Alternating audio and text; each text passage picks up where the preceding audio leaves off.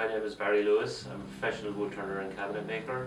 Uh, I run my business here, Natural Woodcrafts Ireland, from 19 Upper William Street, Limerick, where I make handcrafted furniture from native Irish woods.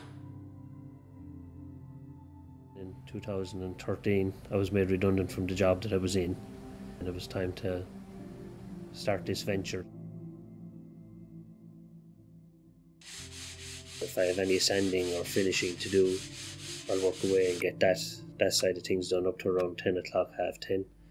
And I start working on making stuff. I'll either be in the middle process of making something like a bookshelf unit or a table. I a lot of sawing and planing to do. So around 2 o'clock then I stop.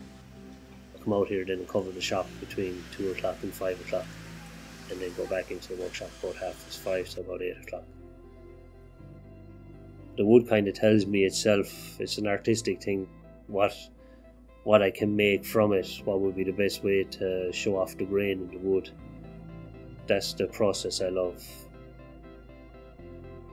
Running my own business and that teaching they were my two primary goals and I'm actually after achieving both of those now.